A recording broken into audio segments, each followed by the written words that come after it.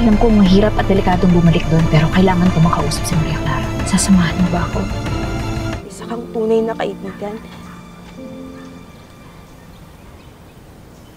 Nabawi ni Andeng yung respeto ko sa kanya ah, dahil hindi niya tinanggap yung pera at ngayon ah, parang nagsisisi naman siya. Saan? Sa mundo ko, Maria Clara.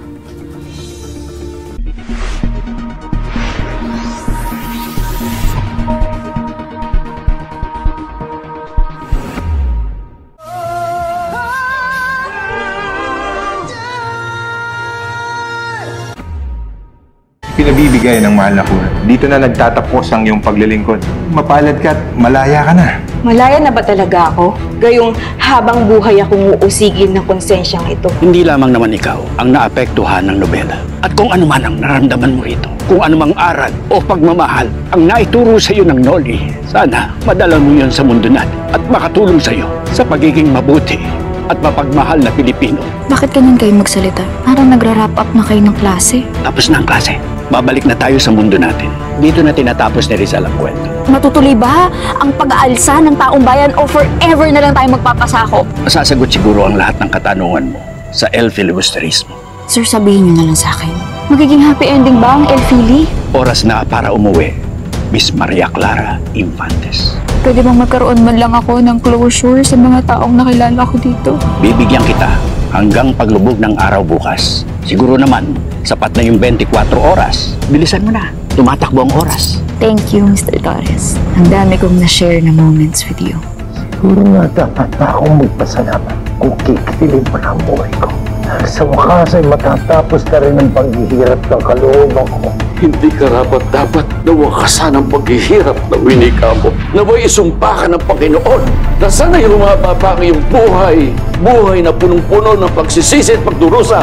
Batid kung may kausap ka kanina. Makita mo siya? Hindi ko alam kung sino ang pinutukay mo binibini. Wala naman ako nakitang ibang tao kanina.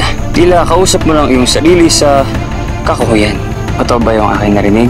Na huling araw mo na bukas? Bukas na bukas kailangan kong pumunta sa bayan. Alam ko mahirap at delikadong bumalik doon pero kailangan ko makausap si Maria Clara. Sasamahan mo ba ako?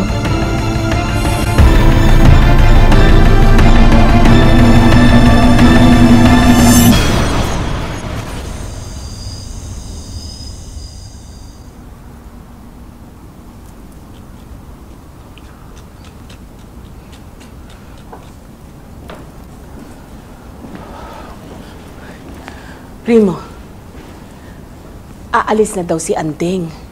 Naroon ang tanggi-impake na.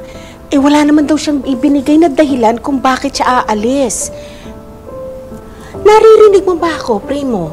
Ano, tatawagin ko na ba si Andeng para makausap mo siya? Kung gusto niya umalis, pabayaan mo siya. Ano? Hindi mo mapipigilan ng tao na gawin ang nais niya. Kahit na anong kabutihan pa ipakita mo sa kanila. Bandang huli, aalis at tatalikuran kanila. Ano bang nangyayari sa'yo, ha? Ano ba yung pinagsasasabi mo? Nakainom ka ba? Si Maria, Nandun, nag papunta sa kumbento.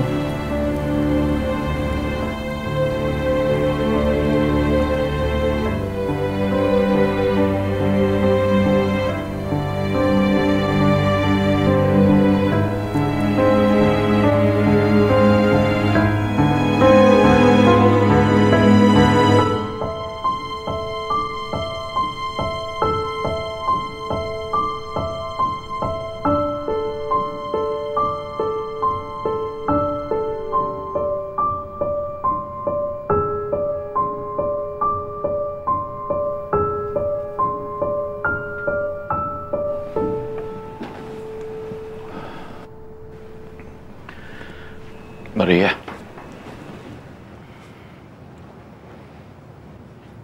Tila wala nang makakapigil sa'yo. Papasok ka na sa kumbento. Bukas ho ay sana kasama kayo ni Tia Isabel sa pagpunta sa monasteryo. Iiwan mo na ako. Pag pumasok ka roon, hindi na kita muling makikita. Alam mo yan.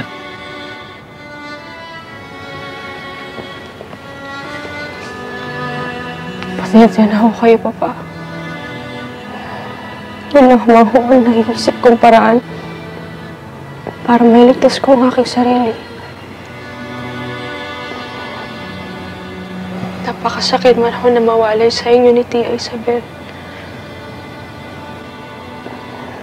Ngunit wala akong makakapawi ng sakit na nararamdaman ko kung hindi ako ng Diyos. Kailangan kong muling hanapin ang aking sarili.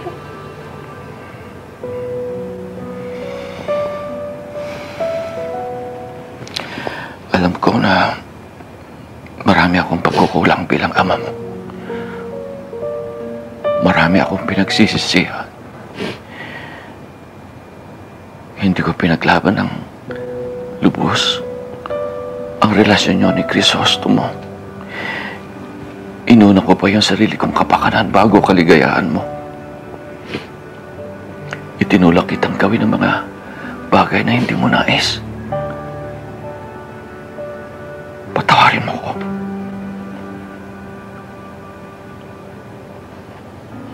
Naintindihan ko naman po kung bakit mo kailangan gawin yun. Ngunit sana, sana may nagawa pa ako. Sana naging malakas pa ako.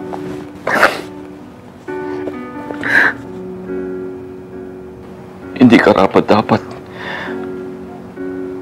na magkaroon ka ng ama, isang mahinang ama na katulad ko.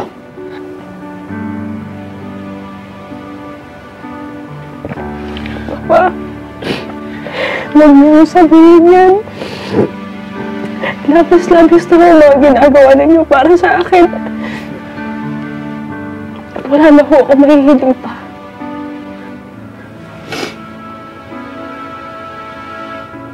Sa kabila ng lahat, malaki pa sa salamat ko na nagkaroon ako ng anak na katulad mo. Isa kang malaking biyaya sa buhay ko, Maria Clara. Ikaw ang naging tanglaw at lakas ko nang mamatay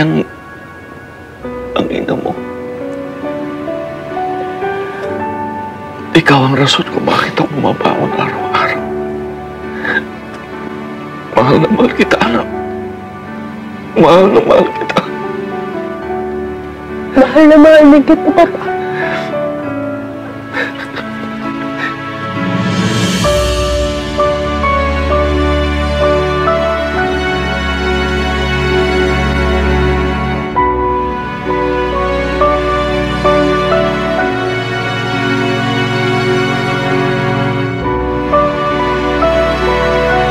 Bibi ni Clay, baka may makita sa atin dito.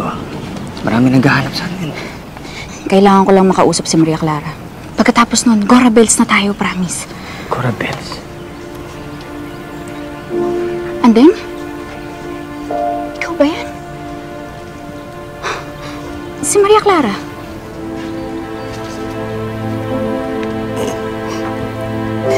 Aalis ka na sa inyo? Sinaktan ko siya. Sinaktan ko ang aking kapatid. Bakit naman kayo magkakasakitan? Eh, mahal niyo ang isa't isa, hindi ba? Kaibigan, pamilya ang turing niyo sa isa't isa. Ngunit sa kabila ng lahat ng yun, ano ang ginawa ko? Hindi tulad mo, Kalay. Sa kabila ng pagpapalayas nila sa'yo sa kanilang pamamahay, hindi mo pa rin siya nagawang talikuran. Ikaw ang nagmulat sa kanya sa iba't ibang mga bagay. Kahit sinasabi ng lahat ng tao na siya ay pumikit. Tama na! Ninong, Ninong, lo siento! Suelta na, por favor!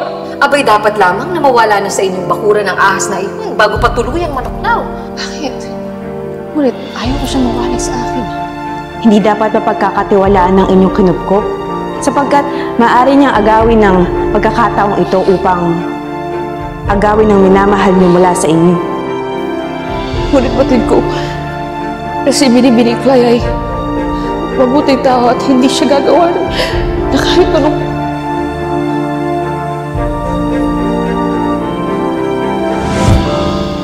Natuto siyang tumayo kanyang mga paa dahil sa'yo. Kahit sinasabi ng ibang tao na hindi niya kaya. Dahil sa'yo yun, Clyde. Isa kang tunay na kaibigan. Nabawi ni Andeng yung respeto ko sa kanya ah, dahil hindi niya tinanggap yung pera at ngayon ah, parang nagsisisi naman siya. So, yeah. Kahit ikaw ay mapahamak, gagawin mo pa rin ang lahat para sa kaligayahan ni Maria Clara. Naging tapat ka. Di ka tulad ko. Na isang duwag at traidor. Hindi ko isinalang-alang ang pagkakaibigan namin. Dahil nagpadala ako sa takot. Ating hindi kita maintindihan. Ano ba talagang nangyari?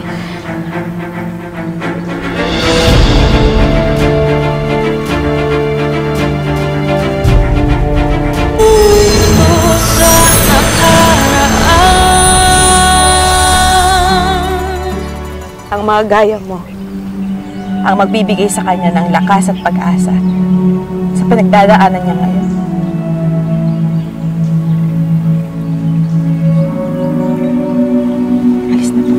Sandali. Saan ka pupunta niyan? Kailangan ko muna magpakalayo-layo. Kailangan ko muna pagsisihan ng lahat ng aking mga nagawa. Ikaw na ang bahala kay Maria Clara, Clyde. Huwag na huwag mong pababayaan ang aking pinakamamahal na kapatid.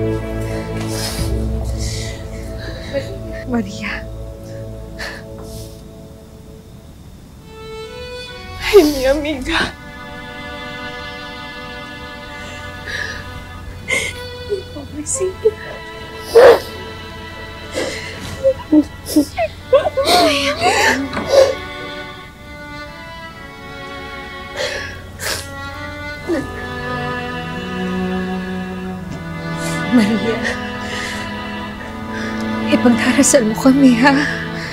Ay, ano ba? Batid naman natin na iyon lamang ang gagawin niyo roon. Magsabi ka lang. O di kaya sumulat. Pag nagbago ang isip mo, susunduin ka namin ni Kamika.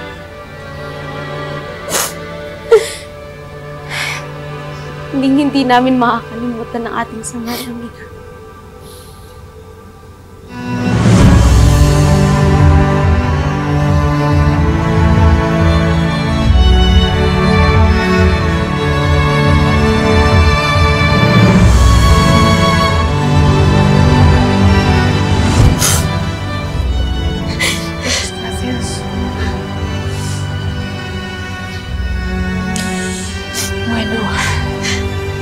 Kailangan na namin lumisan. Nais namin makarating ng Maynila bago sumikat ang araw.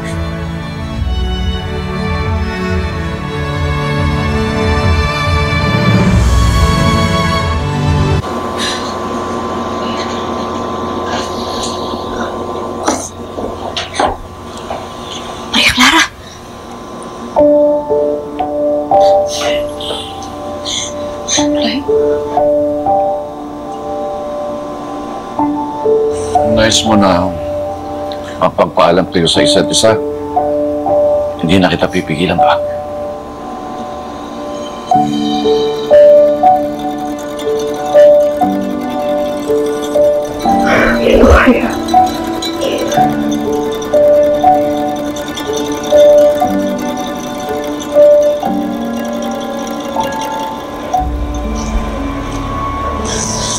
Sandali.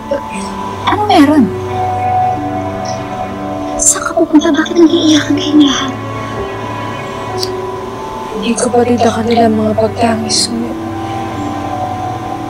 Napagpasyahan ko na na magmadre. Madre? Bakit? Eh, paano na yung kasal niyo ni Sir Ibarra? Hindi mo ba nabalitaan, Clyde?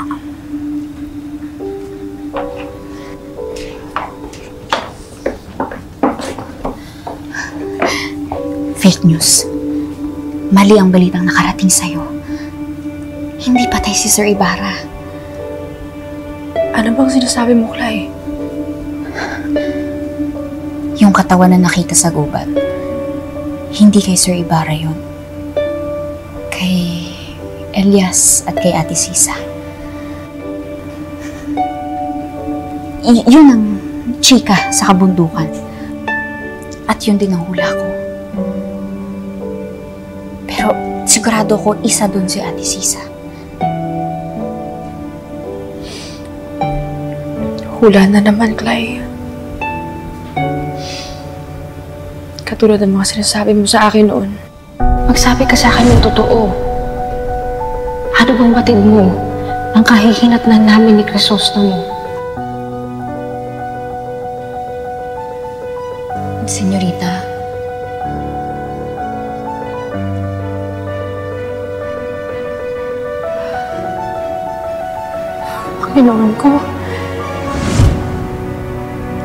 Na masasama ang mga fraile. hindi mabuting tao si Padre Damaso. Baka kakuntsaba niya pa yung isang paring panot, si Padre Salvi. Silang dalawa sa tingin ko ang gustong magpapatay sa iyong nobyo. Magkakaroon kami ng mga problema ni Crisostomo. Magkakaroon ng isang pagtitipon sa bahay mo, Maria Clara. At kung hindi po ako nagkakamali, dito na rin magsisimula ang lahat ng problema niyo sa buhay ng nobyo mong si Crisostomo. Na mga tauhan lamang kami sa isang kwento. Tulad dun sa binasa mong libro? Tulad ni John Valjean? Ikaw ay isa ring tauhan sa nobela. Kung sa bagay, ang lahat ng yun ay nagkatotoo.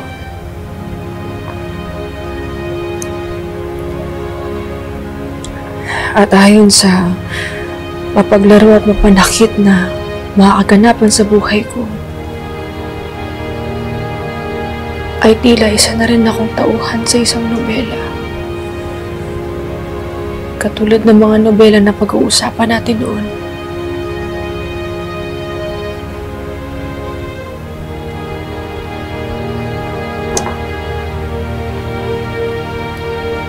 Naging totoong tao ka sa akin, Maria Clara. Naging tunay na kaibigan.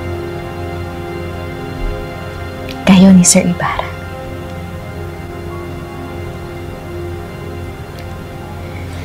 si Crisostomo Ibarra. Na sinasabi mong buhay pa. Kung ngayon ay nasaan siya? Alam mo ba kung nasaan siya?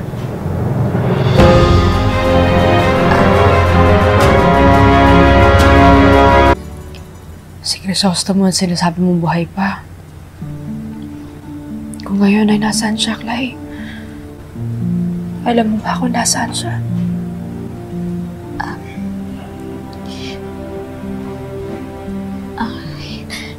Hinahanap namin. Pangako, hahanapin namin. Hindi pa lang namin siya nakikita ngayon. Ngunit kung totoo nga ang buhay si Crisostomo, babalikan niya ako. Magpapakita siya o susulat siya. Lalo na't patid niya mga bali-balita na patay na siya.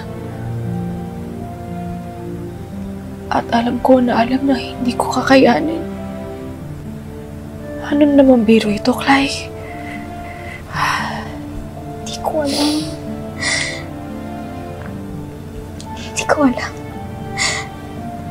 Naniniwala ako, babalik siya. Babalikan ka niya. Hindi na ako maasa sa mga sinasabi mo, Clay. Nauubos na ako. Ubus na ubus na ako. Kaya kailangan ko ng katahimikan. Kailangan ko muna manatili sa kumbento.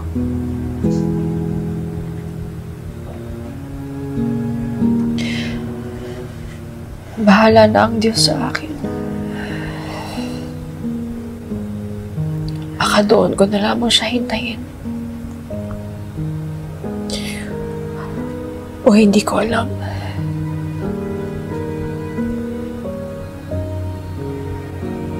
Marahil ay magitay ako sa wala. G ka na ba talaga sa kumbento? Pinili ko ito.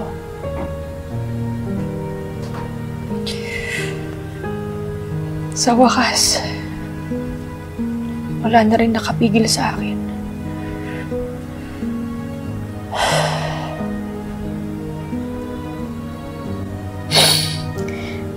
At wala na rin akong magagawa. Kailangan ko na rin umuwi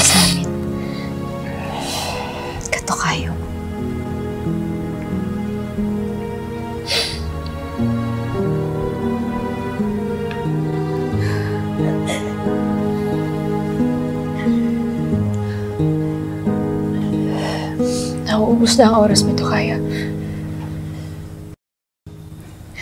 Kung maaari lamang na mas matagal pa ang pagsamahan natin. Ngunit kailangan natin panindigan ang mga pinili nating landas. Teka. Maria Clara, paano kung... Paano kung hindi ka na lang tumuloy sa kumbento?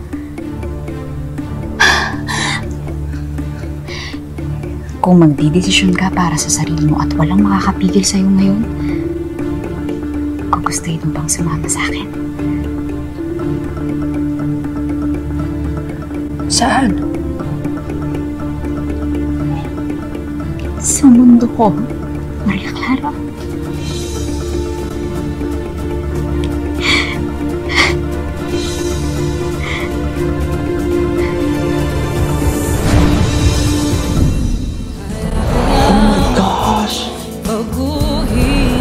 Ko si Fidel yung isama niya or gusto niyang isama. Si Maria Clara pala. Paano pa bumuo si Maria Clara? Ano nangyayari? Saan tayo papakoon? Lilisanin na muna natin ang bayang ito. Maraming salamat sa pagbibigay halaga mo sa akin, Fidel. Pero kailangan ko na umalis. Anong pinagsasabi mo, Binibining Clay? Kay ano mundo ito? Taong 2022. Mr. Torres, alam ko na rin po ang mangyayari sa mga tauhan sa Elfili. Nabasa ko na po yung libro. Pero ngayon po, Mr. Torres, kailangan ko pong makabalik. Kailangan ko pong iligtas sa mga tauhan sa kwento.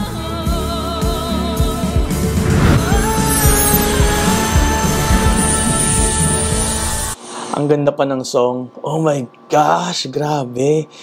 Ewan ko kung kayo din, pero ako lalo akong na-excite sa mangyayari pa. Kasi parang may kakaibang energy na dinadala si Clay. Parang mas excited siya na bumalik. And makakabalik talaga siya kasi may diskarte siya, di ba? And may part doon na parang binuksan niya yung drawer na may libro ah, na umiilaw. So malamang makakabalik talaga siya. And what if nadala niya si Maria Clara? Sa real world.